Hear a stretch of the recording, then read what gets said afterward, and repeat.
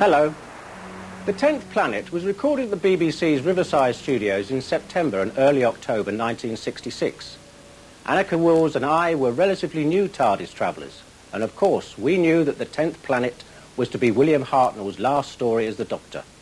We were intrigued to know how Patrick Troughton would play him.